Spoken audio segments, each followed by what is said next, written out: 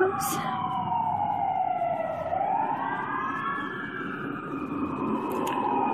So this is the Pagliuso Family Chapel. The chapel was built in 1925 by the Pagliuso family as a place of worship for the matriarch Margaret Pagliuso. Only the mother was provided a bench inside while others gathered outside to attend Mass.